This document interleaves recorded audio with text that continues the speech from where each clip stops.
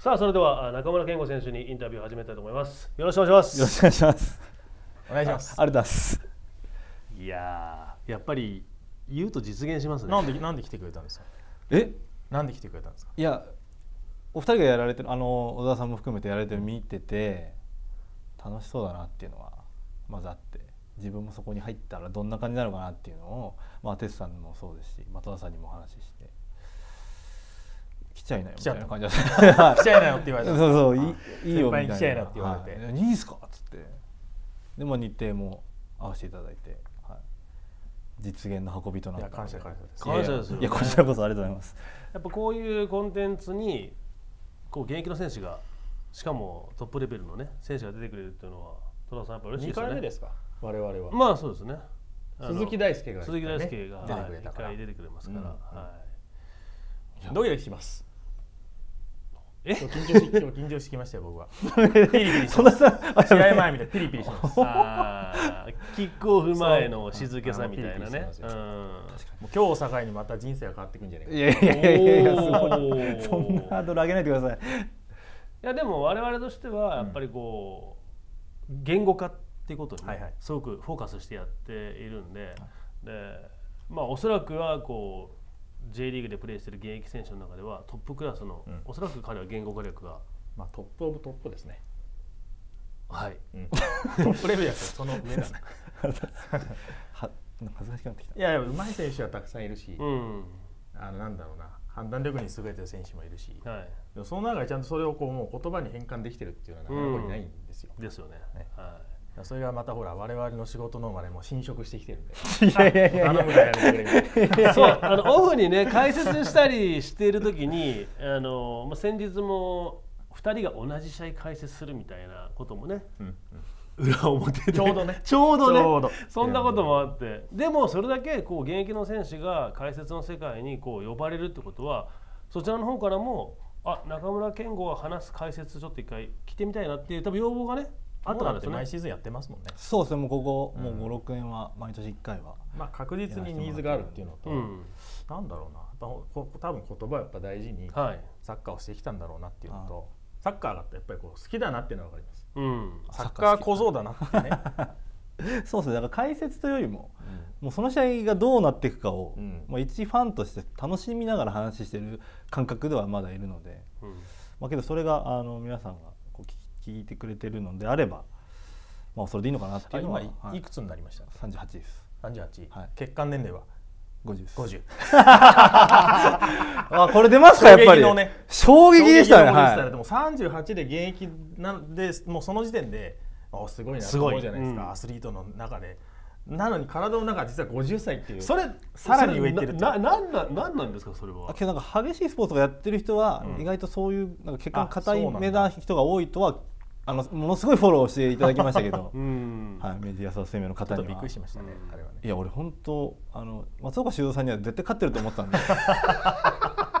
いや負けてないよ。本当あのま本当ちょっと外にいましたけど、外で見せちゃいけない顔ちょっとしましたね、ショックすぎて。すぎて、でまあ今回まあカトルセとしてはですねこう、まあ、僕ら3人が話すときに、はい打ち合わせはやらない。しませんねね。基本的には。僕ら打ち合わせしないんですよ。あいきなりドンなんでいつも、はでしかもそれを取って切り取って出すっていうことをしていたんですけど、なんとですね今日はですね戸田さんがこんなレジュメを作って いやいやいや。今までやったことないでしょこんなの。いやまあちょっと時間があったので、はい。飛行機の移動中に、うん。まあ俺どんなこと聞きたいのかなと思ってこうずっとこありがとうございます。うスマホにこう打ってたらですね。中村健吾という一人のフットボールプレイヤーいや一回なんかいろいろぼーっと書いて聞きたいことをこう聞きたいことまあそうですね。でまあ簡単に言えばなんでこういう選手になったかっていうところが僕は一つと、はあとはそうだな。実際にそのプレイヤーとして見てる世界のことやっぱ頭の中が知りたい。い、あ教えてほしいし。分かる。その視覚と感覚みたいなね、そう。で具体的に例えばあの2018シーズンだった。ら、はい。この場面とこの場面みたいな。例えば守備と攻撃はい。1個ずつとか、はい。もうちょっと自分で勝手にでそれが多分あのこの動画を見る人でも思い出せるやつ。あはい。実際にそれが例えば得点につながったやつとか、うん。そんな形でちょっと書いてたんですよ。確かにこう我々としては映像が使えないことを逆手に取るっていうまあはい。そうそうそう。あのあ方法があれかみたいな、うん。あとはただ単純にサッカーが多分すごく好きなんで、うん。ね、サッカー見るときにどどうどういうとこ見てるんですかとか。はじゃあ技術だったら止めるけど、まあ、哲夫さんもほら止めるけど、はい。特化してるけど、うん。実際それをこの、ね、トップの選手はどうどういうふうにこだわりを持ってというか、どういうところにこう気をつけながらプレーしてるうのか、ん。それがこの3ラインがあったらね、うん。まあ、分かんないそのゾーンが3つありますとかハーフスペースがあるとか、はい。そういうのをどれぐらい意識してるのか知らないですけど、うん。現役の選手だから。でもそういう中でどういうふうに対戦相手が例えばプレッシャーかけてきた時に、うん。まあ、真ん中にいる選手なんで、自陣から進む時は基本的に背中向いてるじゃないですか。そうですね。背中向きの視野で何を基準にポジション取ってるのかなとか、ああポジション取りね。そう。逆に言うと彼はすごく守備が上手なんですよ、うまいですね。あーこれありがたかったです、ね、それは僕が多分本当に。胸あっていいですかねいやこれ本当戸田さんが最初に言ってくれたのでメディアの人たちもうん。注目してくれたんで、あ本当嬉しかったです。あれはね攻撃褒められるかなり嬉しかったですね。あれ多分夏前ぐらいでしょだってそういう話がパッて出て俺で,、ま、でも昨シーまあズンからもともともともと言ってるもともと言ってるけど。も元ともとですけど取り上げられそう始めた表に出たのははいそうそうそうそうそう。で結構川崎フロンターレファンがたまにツイートしてますよ。今日解説はい。戸田さんだって。よしみたいな、えいやみたいな。いやいや言ってるよね結構。はい僕多分負けてないんじゃないかな。そうですねはい。僕の解説は。そうですね。僕の解説っておかしい。それ変だね。それ変だ いやでもほら1.5列目からのうん。守備と、はもう一列下がった時の守備って違うじゃないですか。違うですね。はい。その違いボランチのところとね。うんどうどう考えてるのかとかね、い。うん、えでもせっかくだからそこから行きましょうなかそういう聞けることがこういくつかあるなと思う。ん、うん。いやままずその守備のことからせっかくね、入ったから、うん。そうですね。何から話せばいいですか、ね、いやすごいだからあの相手いわゆるそのまあ相手のしあのしフォーメーションにもよるんでしょうけど、うん。まあいわゆるアンカーのポジションを消したところからこう一列前まで出ていって、うん、でセンターバックのところまで行く、寄せてうん。しかも彼なりのスプリントですよ。うん、彼彼なりのね、はい私なりのすごい速いわけじゃないです。けど、でもコース取りはうまい。うまい。コースをきタイミングの取り方も上手。うまい。だから僕はほら基本的にその一列後ろで、ね、プレーしてたから。分かるんですよそれが。あ出てったって時の、うん。どこのコース消してるかっていうのが分かるので、うん。それともで次出てくボールの場所が見えてくるから、で他の選手がそこに続いていくみたいなの。を一回あんなねなんかメールであしましたね。俺がちょっと聞いたら、、はい。くつかこうやって帰ってきたんですけど、何あを聞いてそんですか？直接。そのし守備の守備の、はい。そう何考えてやってる時にどんなのみたいことを気にして考えてやってるんですか？みたいなことを聞いたら、はい？ポンポンポンポンってで、そう俺あのバーッと送るタイプじゃなくて細切りに結構送るタイプなんで。知ってます？あのよくてると。一文要するに一文結構聞いてずつ来るから。そうだから4つも5つも来る未読がすいごい溜まってくるタイプなんですけど、はまああんまり J リーグだとその4あの中盤がね、うん。あワンワンいわゆるワンアンカーのチームってないです。ないないですけど、はい。まあその動きの中でうん。1枚になる時はもちろんあるし、あるまあ、基本的に多分中央のここのゾーンはね使わせない方がいうん1枚もしくは2枚き消える消える消しながらこう多分守備が作れると思うんですけど、それを基本的にこう最初から横になるわけじゃないじゃないですか。そうですねはい。基本少しうん。だってだってトップがいてそうトップ下一列後ろにいてそこから必ず出てくるんですけど、うんだその時のタイミ何何を基準ににやってるのがあスタート切るのかとか、もうその時のディフェンスの選手の、まあ、癖というか個性ボールをつなげるのか、つなげれないのか外向きやすい選手なのか中を向く選手なのかからまずまあもう事前のというかもともともう僕16年やってるんで選手も入れ替わってますけど結構特徴は分かってるんで、うん。そこからですね。だからそれによってはアプローチのスピード変えたりとかまああとその瞬間のこのポジショニングうん。ですかね。あの意識相手のポジジショニング？相手のポジショニング、味方はどっちかっていうともう自分が行くっていうのは分かってるんでもう結構準備万端な状態で、あ後ろから声かかった時は行かないです、あ行くな行くなって、はい。けどそれはそれは誰が基本的に出してくるんですか川崎まあ、の亮太とか森田とかやっぱまあこの2人ですかね、うん。あと阿部ちゃんとか,、うん。そこら辺は声かけてくれるんで、だから声かかってるってことはもう準備ができてるってことなので、うん。行くにしても行かないにしても、うん。うん。だからあとは自分のもう判断というか。例えば自分がいけるなって思った時はちょっと周り見ずに相手がそうう相手がもう苦しくなるような状態を自分が一人で作れるんだったら迷わず行く、うん。でまあ試合の中でそれは失敗することもただあった。中で経験値も積んできてでそれなりに自分なりにこう行く時と行かない時の判断はかなりついてそれっていつぐいらいからねか考えていやあの考え始めたとか実践するようになったんですか、見ていいなって思ったのはペップの時のうん。バルセロナうん。のあのやっぱりもうなんていうんですかもう自分たちはもうひたすらボールに行って相手ボールになったらもう持たせないっていう。一番徹底してたのがあの時期だと思うんで。あれはやっぱりすごく自分の中では参考にしましたし、うん。ただ当時のフロンターレってそういうチームじゃなかったんでじゃないですよね、うんはいうん。頭の中で自分の中で引き出しとして持ってたっていうのはあって。で、まあ、ボランチもやりながらトップ下もやるようになって、まあ、トップ下の人ってやっぱスイッチ入れやすいんで、うん。あのなんだろうな自分が行くことで最初は周りもえってなってましたけどはい、最初は、うん。あのあーちょっと前のまあそれまでやってないことだからね。そうですね、はい。ん。チームとして別にそれはうん。やるっていう感じじゃなかったので、だからそういう自分でこう行くタイミングとかをうん。こう模索しながら、はいはで鬼木さんがそういうふうにチームをもこう持っていくというか結果こう今合致してるかなっていうのはあるのででもある程度やっぱりそのスリーラインのね距離とかあそれははい、あのスタートのポジションとかって決まってた方がいいんじゃないかなって思うんですけど、うん。それは全体としては決まってるんですか？プレッシングにか行く位置とか、あのー細かく言わなくていいですけど。そうです確か。に それは。今危うく今しゃべしゃべりそうになりました。けど、けどやっぱフフロンターレとしては常にコンパクトスリーラインをコンパクトに保とうっていう話はずっとしていて。それが大体どことかもまで決まってるんですか？いや試合ごとにもうそれはもうこうもうまあ、シチュエーションによって変わったりするな感じ。な並べますかじゃうん。あこれどうどうすればいいですかこれ番号とか。適当？まあ番号は適当でいいですかね。適当なんか,、まあなんかイメージ。ブラジルみたいな感じにししておきます。ルみたい。こうか。けど4番はボランチだも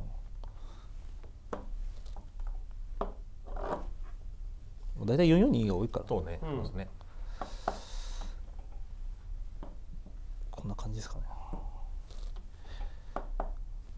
まあここら辺で持ってる時にうちの最終ラインとかがうん。まあどこにいるかにもよりますけどああちょっとすいません。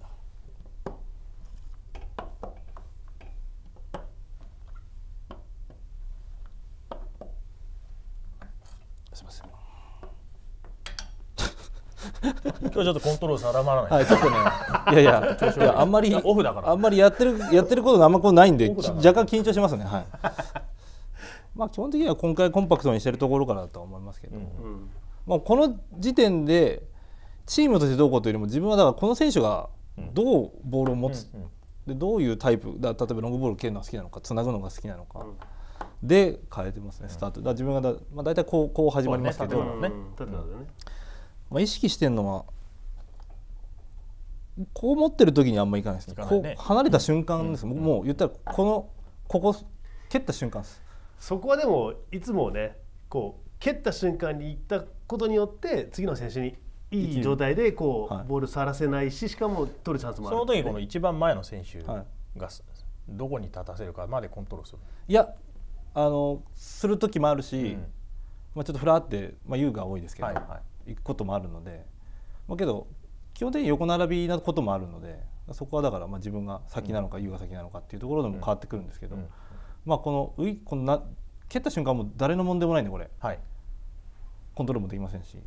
ここでどれだけいけるかっていうのは。移動中と、はい。うん。でこれを見て例えばこのセンターバックがこう下向くかうん。前向いてるかで、うん。うん。多分今度は後ろの選手たちのこの生き方が変わってくるとは思うんですけど、でもこの今の動きの時点でここ要は簡単にここは消えてるとだもんね、そうです。ここにはでもうないここもここも消しながらいつも言ってうます、うだねでここに立たれたらもうまここは後ろがね、はい。覗けばいいもんね。そうです、ん。だからここにちょっとぼかしながらい ってくれれば、っうん。ていうのはもうこの2人にはもう言ってるのででチームとしてもまあそれはありますし。ということはその時には多分こっちにはボール来ないもんね。そうです。うだから、まあ、前提としてはもうこうなってる時はなかなかやっぱりんうん。ちょっときついですけど、うん。やっぱしっかり後ろもプッシュアップできてる状態であればっていうのはありますけどけどかんこうなってても自分がここの選手たちがもう2人たたまにこういうチームあるんですよ。2人でやってるチームが、はいはいその時はもう絶対いけるなっていうのは消せるなっていうのは自分次第で、うん、こうなってくるとで結構ここのラインははでも基本的にほらプレッシャーをかける時は見えないじゃないですか。半分は感覚なんですか？そうですね、うん。半分半分まではないかな。あまあけど感覚なのかな。いやけど自分の中でこう実体験として結構成功体験を重ねていることもあるので。で自分が取り切ることはほぼないんですけど結構そこでこその後でここで奪うことがでも大切なわけじゃないですもんね。そうです、けどここで時間と余裕を作らせないことが大事なんで、ここでやっぱり時間と余裕を作らせるとやっぱここまで運ばれもうみんなもう大体うまいんでそういうイメージではいつもいますけど、ねまあ、選択肢をどれだけ、まあ、少なくさせられるか。そうですねはい。奪うきっかけを作ってことですね。こ。こをまず時間下向かせるっていう、はいはい、でこれトップスピードでいっちゃうとこうクッていかれいかれちゃう早すぎてもダメ。だそうダメなんですよ。けど遅すぎると時間もできるんで、うんうんそこはだから、まあ、自分の体力もそうですし、うん。うんその身体能力もそうですけど。あと後ろはどうですか？2人のセンターバック。いや2人のセンターバックにも結構言いますけどここまでで大体片付くことが増えたっていうのもあって、ね、最後もうここの、まあ、特にまあ大体こういう感じだと思うんですけど、うん。ワントップのところをもう潰す。うん。でけどそこ行かれた時はもう必ず話はするようには、まあ、練習でもそうですし試合でも。けどもうあんまりそういうでも俺見てたらすごい成長したと思ういやもう本当その通りだと思います、うん。はあのなんかいわゆる連動ね。い、うん。1人目が1つ目が決まったら2つ目、3つ目。でセンターバックもそのポジションを守るんじゃなくて、ボール状況に対して場所をしっかり見つけて、そこにエネルギーが使えるようになって、だそういう意味では奈良なんかもすごく、そうですね、うんまあ、伸びたというもともとできる選手だったと思うんですけど、やっぱ後ろのここの真ん中の2人がすごくなんだろうな遅れずにそあの前のスイッチに対して遅れずに。そうだよね。柔軟かつね、うん。しかもこうリスクマネジメントしながらっていうのはだいぶできるようになったんですよね。多分ものすごい俯瞰的に多分見れるようになってきたと思うんで、うん。結構なるちゃんとかこう目の前の相手を潰すっていうのが特徴のセンターバックだったんでけどちょっと視線が上がったというか、うん。うん。それはすごく感じます。だから、うん。行ってここで取れるようになったけどここにスポンって入った時は俺は結構言いますね、なんでって。うん、そうだよね、はい、もちろん全部は無理なんですけどけどそれを極力減らしたいがために言ってるから、うん。うんでで彼らもいろいろ考えがあって話してけどこういうふうにできるようになってきてっていうのはやっぱその失点が少なくて下支えっていうか。まあ最小失点になったね。まあ、一つのなんだよねこう要因でも1列。2列3列あったら多分1列目と3列目のイメージが共有できるって基本的には難しいから多分こういうことは起こるけど、うんでもやっぱ1列目の選手からすればもう制限かけてでだ出すとこ相手が逆に言うとなくなってくるから中盤超えてっていうところは狙ってくれよって思いますもんね。うん。思います。うん。だから多分ぴったりついてるとダメだと思うんですけど、うんうん。うまくぼかせるように、はいはい。一人一人がこういろんなとこ見れるようになってきてるんで、早く突きすぎてもダメか。そうダメです。だからそうするとこうあスペースが空いてきちゃうんで、はいはい。そうですね。相手のこのボールホルダーがなんだろうなついてないんだけどなんか出したら全部いかれるんじゃないかって思わせることがすごく大事で、うんうんでもそれはやっぱり日々のトレーニングから結構言ってるというか選手間でもそうですし森さんもそうですしだから極力こういうところにスポンって入れて前向かれたくないっていうのはチーム全体としてあるので、うん。まあ、もちろんそういうシーンはありますけどけどそういう回数を極力減らしていくっていうのにトライできてる環境なのがはい。だからかける選手からするとすごくやりやすい。うん。なんでかけんのっていう状態じゃないんで今チームが。行ってついてこなかったらこっちも言われるっていう。うんだからそれはすごく刺激し合えてていいのかなっていうのは。だから個人でそういう発想を持ってやらないと今のうちの前線って結構出れないプレーができないね、うん。出場機会が得られない。そうなんですよ。言われてからじゃ遅いんで、うんうん。俺もボ俺ももともとボランチやったんで。トップ下っていうかこう前の2人がどうだったらいいなっていうのも自分の中で引き出しであったんで、うんうん。自分がこうやった時に、まあ、こうやったら多分楽なんだろうなっていうのは考えながら楽ですよ。あありがとうございます、はい。僕は中継やりながら、うん、楽だ。っ て思ってるから。いいな、ありがとうって。俺関係ないのに言ってます。いやー 本当に見てかゆいところに手が届く、まあ、ススピードとそれから距離感と、うん。それから限定する角度と、はもうねそのあたりは。あとはまあ例えばさっきエドワルド・ネットの話出たけど、そのゲームによって相手チームのこの選手からボールを奪えばビッグチャンスになるっていうような、まあ、今言ったグランパス戦のネネッットね。はいみたいなそのチームとしてもここで、まあ、あえて奪おうみたいな、そこに誘導すると。そう。ボールね。そういうことも多分意図的にやってますよね。まああのボール持つチームって軸って決まってるじゃないですか,、うん。はい、だからそこ潰せばっていうのはあるので。みんな前がかりにね要するにその選手持った時でも考はえ方2つあるじゃないですか、まあまあもちろん。その軸の選手にボールを入れさせないか。えそうそうそう、あえてもそこにうん。襲いかかるかみたい